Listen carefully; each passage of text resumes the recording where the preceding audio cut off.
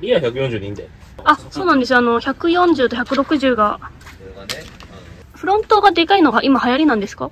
ブレーキ力いるの、フロントの方が、ブレーキ効くじゃないあ、そうですね。はい。そういう関係で。そういう関係で、モーターバイクに合わせてんじゃない？あ、バイクも、う前の方が軽い、あの、でかいんですか？前、そうだよ。前の、ええー、初めて知った。前の方がブレーキ効くからね。あ、車もバイクも。へえー。前がでかい方がかっこいいんですか？なんかほら、あの、モーターバイクみたいじゃない？そうですか。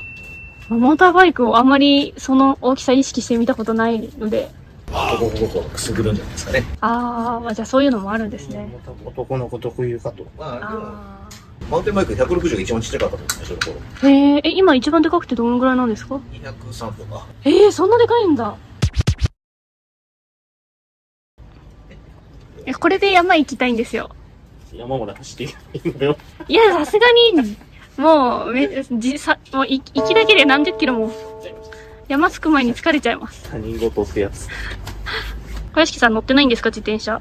この間ね、家まで乗って帰った。以上。休日、サイクリングとか。休日は休日なんで、ああ、休日でございます。この子は7バールマックスだけど、いつもグストの場合は、前が6で、後ろが6.3とか。じゃあ合わせてみようか。はい。ままあ、空気圧、まあ、タイヤが違うからね、比較にもなんないけど。こんなにでかいんですね、ロゴ。そう、ミシュランの、まあ、あー一番エントリーのだから。あ、キャップなし派？なし派です。あ、あじゃあいいやいいや。うん。グストもないです。それはあの、MeToo なので。え、好みですよね、それって。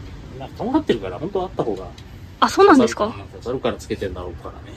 つけないのが主流だと思ってました、私。上げないためにじゃ28から34って結構変わりますよね。だいぶ、ですよね。山楽に登れそうです。前より。いつも28で、序盤でもう一番軽いギアにしてたので。こうやって、こうやってやっちゃう。はい俺。壊れたから SPI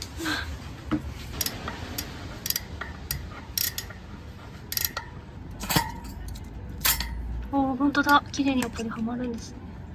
ちょ、ちょ、ちょっと今のはカットしといて。え、なんですか？若干はまんなかった。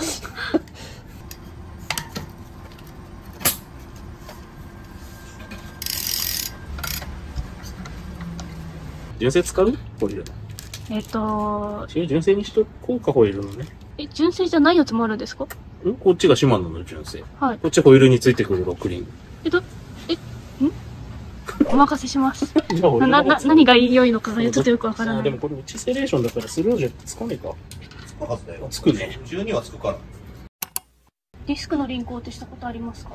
いや、あんまり、意外と無頓着の人だったからな、俺。ローターのカバーが必要なんですよね。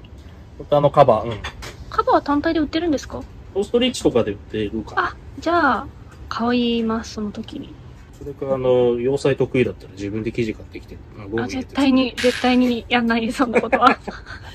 リムからディスクの移行で気をつけるのは、ローターをあんまり傷つけないぐらいですか？傷つき、まあ、傷は100歩譲ってしょうがないしても、これ曲げるともう走れないから。はい。まあ、ブレーキが。うん。はい。あんまりあの、でも、そんな、ま、曲がるんですか？だってそんなペランだってペランだよ。ペランペランでもこれでも硬くないですか？人間の力っていうか、手の力じゃね？でも、ああ、そっか、ちょっと当たったりする。やってみていい？えダメです、ダメです。ダメですまた買わないとなんかいけない。いけそうな気がするみたいな。今見たらなんか乗って帰れそうだなと思って、あれ的に。音が鳴りますね、みたいな。しますよね。あれって仕方ないんですか？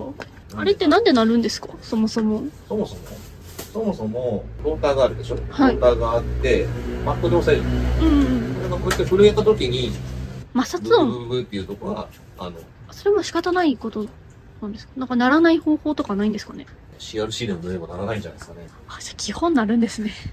一応あの、泣き止めのスプレーとかもあるんだけど、はい。その場しのぎ。あ、そうなんだ。今はねって聞く。でも多分ディスクブレーキの人はみんな思ってるから。あの音、なんかすごい心臓に悪くないですか？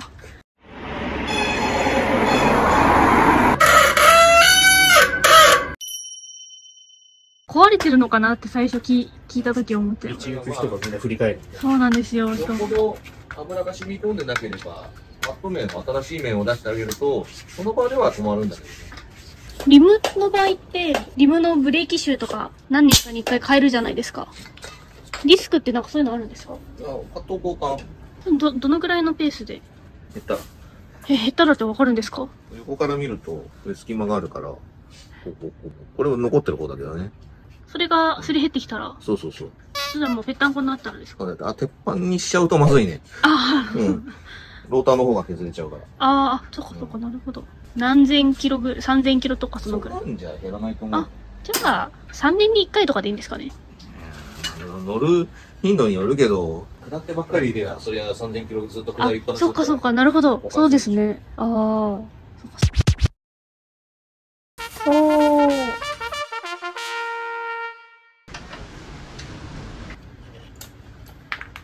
買いました。え、買え買わないんですか？普通。皆さん買いますよね。そんな驚くんですか？いや え、まあ、いいいと思いますってやつ。これ散々段ボールでいいんじゃねっていう。厚紙で、あの、そうなんですか？厚紙折ってさ、ちょっと折るとさ、広がるじゃない？はいそ。れで止まるよ。え、それで本当に良かったんですか？なんかだって一応この厚み買っといた分握っちゃったって、いけねって握っちゃった時に逃げれなければ OK だから。この、この、これ何ですか？この、危ないからってことうん。ですか、まあだってこうやって待ってる時にピッて入れたらさ、あ、まあまあ、そうですね。はい。あ、そう、それのためのうんちゅ注意の紙剥がしたい？剥がしたいです。それでも皆さん外しますよね？これ外さないな。え、そうなんですか？なんか見た目的になんいや、か。第三者が見ても気をつけてねっていう、わかるじゃん。あー、確かに。そうか、なるほど。わざわざ買うといくらすんえーと、それ一つで500円ぐらい。の 結構すんだね。はい。脱着も変わらずですよね、リムと。あ、やり方？はい。やり方は、そうだね、リムと変わらないよ。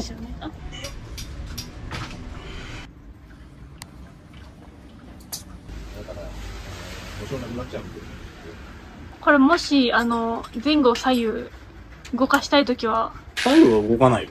あー、さ、あの、前、前後。前後は横。横を動かせばこれも動くしさっきの今言ったとこバラバラにするじゃない。はい。そうするとこの、この部分動くから。え、折れるんですか？我が体重の8割ぐらいかかってると思う。あ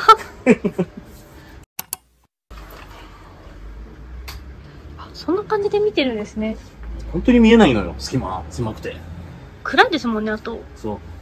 ーん。あそれ、そこでやるんですね、位置調整。確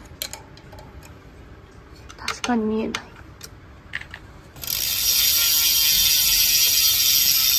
やってますか爆音すぎてフリーが。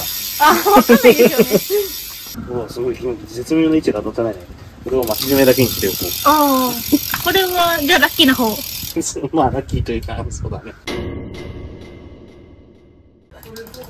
何何をやらかしたらこうなんだろう。いやー、私も全く、わかんないよね。はい。これ本来こうだから。さっきと変わったでしょ。変わりましたか？奥の爪の手前にこれが来たでしょ。もうちょっとこっちだけど。なんか、あ、本うん、当だ。緩んでただけか。いや、でもなん問題はありそうですか？いや、まあ、切り子は出てるよね。斜めにはまってたからさ。ああ、やっぱ斜めにはまってたんですね。うんそれがでもこれを組んでもさだ。、エンド曲がってねえ。やっぱり。曲がってるんですか？あ、曲がっちょてっと曲がって見えんだけどるか。私もそう見えます。なんか私が毎回組むとき毎回エンド曲がってる気がするんですけど。ダメだな。大丈夫ですもうすぐ大丈夫ですか？あ、なんかすごい綺麗にはまりましたね。今までめちゃめちゃペソコ悪かったんじゃないかな。どうなんでしょう AI2 はこれいろいろ変えられるから、カスタマイズとかいろいろできますよね。そうそうそうそう。なんかそれ父がラピールでやってました。と前が変則したりとかっていうのは、YouTube プロジェクトっていうアプリがあるから、あ多分 iOS でもあるから、あ、多分あると思います。それ入れて、で、さっき言ったように、ここ長押しするとあのペアリングモードに。YouTube ですよね。わかりました。